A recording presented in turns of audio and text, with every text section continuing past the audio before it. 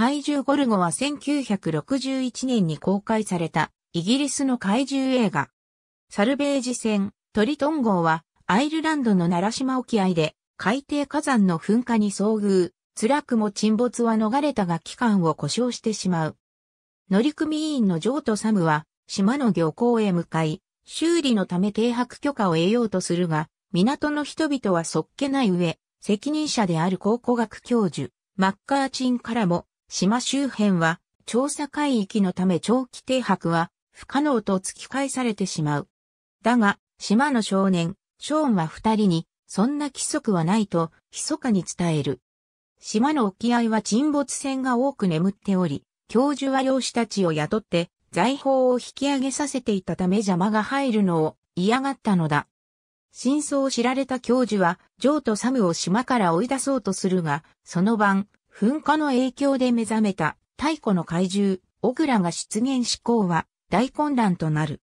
翌朝、ジョーとサムは引き上げた財宝を代償にして怪獣を捕獲することを提案し、教授はしぶしぶ受諾。船の装備をフル活用し、二人は見事怪獣の捕獲に成功する。この話題はたちまち注目の的となり、すぐさまアイルランド大学から貴重な研究資料としての譲渡依頼が来た。だがジョーとサムはロンドンのサーカス工業主からさらに高額の引き取り依頼が舞い込んだのを受け、船をイギリスへと向かわせる。喜ぶ二人の前に船に密航していたショーンが現れる。こんなのはおかしいよ。怪獣を海へ返そうと提案するショーンだったが、相手にはされなかった。怪獣はゴルゴと名付けられ、ロンドンで見せ物にされ、大人気となる。だが、アイルランド大学生物学教授、ヘンドリックスは、あの個体はまだ幼獣で、成獣がいる可能性が高いと二人に警告。その言葉通り、奈良島沖からさらに巨大な親怪獣が出現。島を蹂躙しマッカーチンもその犠牲となってしまう。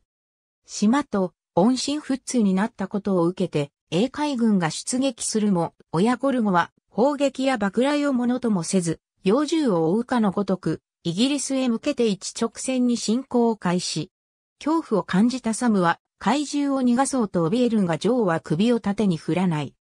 海軍は NATO 軍も動員して防衛戦を敷いたものの、親ゴルゴはそれをも突破、ついにテムズ川からロンドンへと上陸する。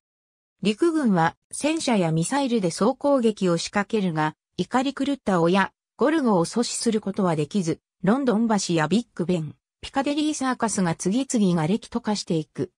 ジョーはショーンを連れて、大勢のロンドン市民がパニックになる中を必死に逃げ惑い、その混乱と凄惨な被害を目の当たりにしてようやく自らの間違いに気づく。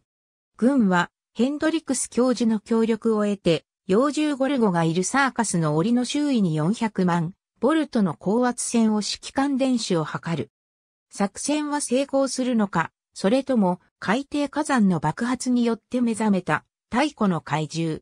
奈良島では、小倉と呼ばれており、海の精霊、航海の守り神として言い伝えられていた。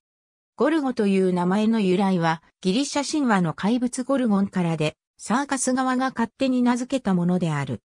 劇中では、詳しい生態には触れられず、ゴルゴが恐竜の生き残りなのかは不明。海外の怪獣映画としては珍しく人類の兵器は一切通用しないという設定である。ただし、火には若干ひるむ様子が伺える。幼獣は危険を感じると体から輪に似た体液を出す。ありがとうございます。